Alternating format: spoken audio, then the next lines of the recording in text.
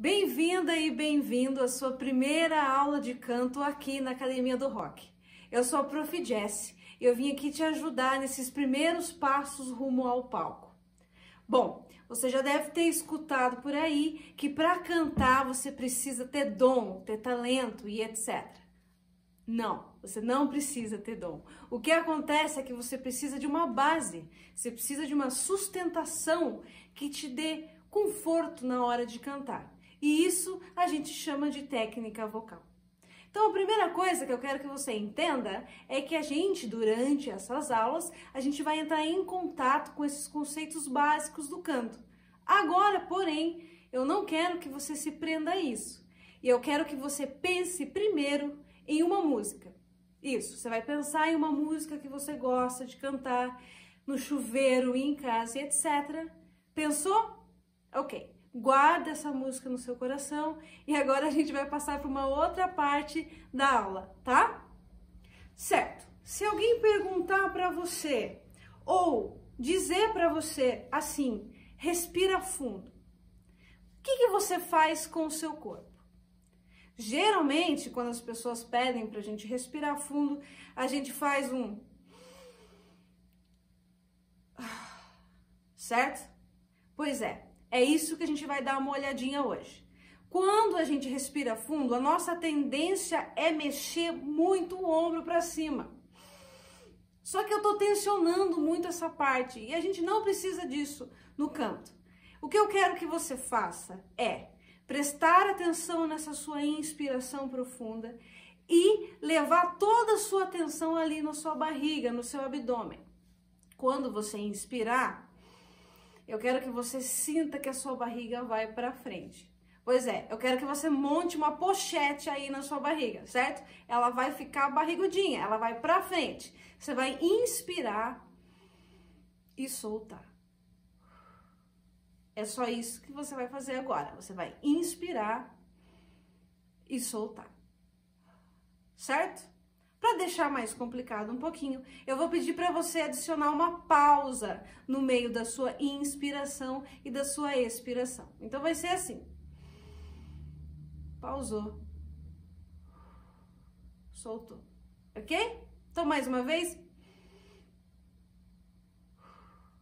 Ótimo. O que, que a gente vai fazer agora? A gente vai fazer essa inspiração e essa pausa e essa expiração em seis segundos. Então, um, dois, três, quatro, cinco, seis, segura e solta. Você vai fazer isso aí em casa em 6 segundos, em 8 segundos e em 10 segundos. Quando você sentir que já está conseguindo fazer muito bem essa respiração, a gente vai complicar mais um pouquinho e vai colocar na expiração o som de SH, de shh. Vou fazer para você entender, tá? Então vai ser em 6 segundos, segura em 6 segundos e solta. Shh.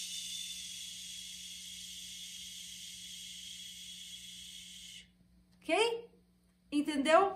Certo. Junto com o material, você vai ver que tem outras opções de soltar esse ar. O que, que é isso que a gente está fazendo? Bom, a gente está simulando uma hora que você está cantando.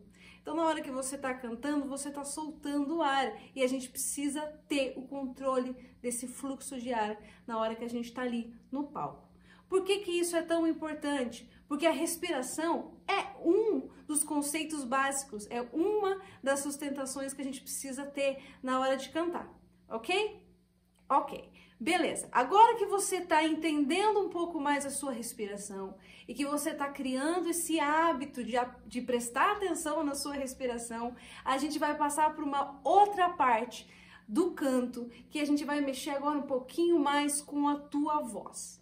Então eu estou respirando bem, eu já estou prestando atenção na, na, minha respiração, como que eu estou soltando esse ar. Agora eu quero que você ache um som que a gente sempre faz, só que a gente nem presta atenção, que é o som do M, que é o certo? É um som poderoso, ele vibra bastante. Então procura o teu M aí, pode até brincar com esse M. Você pode ficar fazendo tipo mastigar esse M, deixa essa voz sair, certo? Achou o seu M. Agora a gente vai adicionar notas. A gente chama de vocalizes, que é uma sequência de notas que a gente usa para começar a trabalhar a sua extensão, para acordar a sua musculatura e etc. Ok? Então você tá lá no M, hum, numa região confortável. Hum, e agora a gente vai pegar o vocalize que a gente tem disponível para fazer junto. Então a gente vai fazer essa sequência.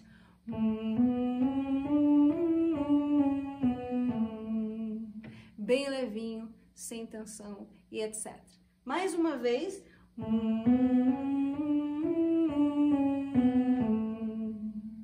Como é que eu sei que eu tô fazendo esse som corretamente? Você vai sentir que tá vibrando aqui na frente, que vai fazer cócegas nessa região.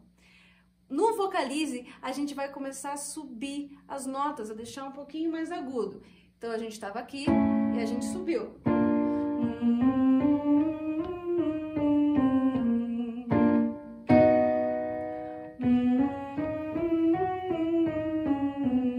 E etc.